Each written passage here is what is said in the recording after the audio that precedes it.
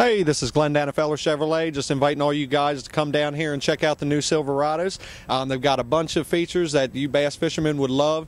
Um, you've got three different, four different engine configurations, three cab configurations, depending on your needs. You've got great features like a backup camera, so you don't have to drag your wife out at four in the morning to bring her out to hook up your trailer.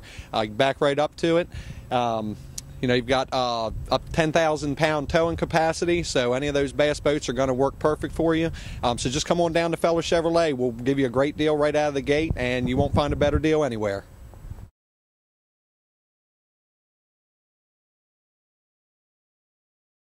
Choice, new sport and good store just opened in Lynchburg, Virginia. And we've got some guests with us here today. We've got Elite Series Pro, PAA member, uh, Nitro Pro staff guy, Jamie Fralick. Jamie, what brings you to Lynchburg today? I just came up here to see the new grand opening of this nice tackle store. And um, is this the first time you've been in Lynchburg? I've fished Smith Mountain Lake a couple times, but this is the first time I've ever actually been to Lynchburg. And um, you know, it's it's right here, first part of February. What has uh, this year? What has 2011 brought for you so far in the in the fishing business? Uh, I was in Florida last week, just looking around at the lakes. Uh, that's really been about it. It's been a cold winter, so I haven't done um, and you know, for the 2011 season, you know, there's a lot of things going on with bass. We've we've talked to a lot of the Elite Series guys about the new ownership and stuff. Um, most guys seem pretty excited about that. What do you? What are your thoughts? Uh, it's going to go back to my feeling is a smaller organization, and instead of corporate ESPN, it's a three-person ownership, and, and I think good things are going to come from it. Um, you know, you looked at the schedule. I'm sure you, you're doing your research for that. What do you um, What do you feel you know, as far as you know, the, the lake setting up for your strengths and weaknesses and stuff like that for this season? Yeah, we're going to a lot of new lakes this year, and I, I really don't know. You know, I think most of them are going to fish shallow, and that's what I grew up doing. So we'll see. I just take it tournament by tournament. You know, um, Skeet is big for saying that he doesn't make a plan before he gets there. He gets there and fishes the conditions, and you know that's obviously done well for him. Is that kind of your theory? Yeah, and that's when I spent six days in Florida. I didn't hardly make a cast. I just rode around every lake and looked at everything that I could possibly see. So when I go back, I, if I get on something, I'll know where a bunch of stuff is just like that.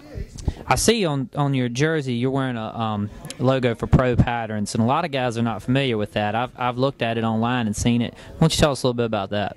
It's an it's an online fishing resource. Is what you do is, is like I log five five patterns from each tournament that I fish, and then say you go to Smith Mountain Lake and, and you're it's the first time you've ever been there you can type in the conditions for Smith Mountain Lake and it will tell you what is the most probable thing you're going to go out there and catch fish on right away. Uh, it saves a lot of time, and, and you can even have your own personal log where you just keep your own information that isn't public. It, it's your information. So if you wanted to keep a log, you know, on Smith Mountain Lake, so you remember, hey, 10 years ago when we had these conditions, this water temperature, I went out there and really caught them. It'll tell you that right away. So basically, it's just yet another tool that's available for the modern day bass fisherman, especially tournament guy. Yeah, it just makes things simpler. And they came out with the payday program where if you're a member and you win a tournament with over 35 or 50 boats and you're a member, you put in a log, you get paid to do that. That sounds good. And another thing I want to ask you about a little bit is, um, if I'm if I'm not mistaken, you fish PAA, correct? Yes, I do.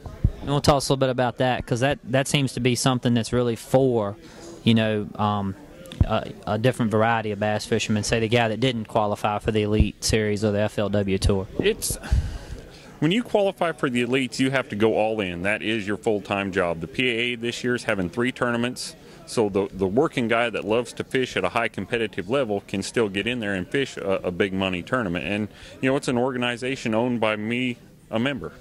Uh, and that's when you when it's owned by the people using it, it always seems to work out best. Yeah, and you know it's still growing, and as long as it continues to grow, it, it'll be a big factor in bass fishing. I uh, got you. Now you've got a chance. You know, you've been here. If you, if you went through the store here today, and they cornered you um, and said, you know, buy one lure here, Jamie, today that, that that'll help you consistently through this season, what would it be? Hmm. The season changes so much as you go. Uh, probably all around, I'd probably have to say a half ounce or three quarter ounce B&M football jig. What color? I'm kind of partial to Candy Craw.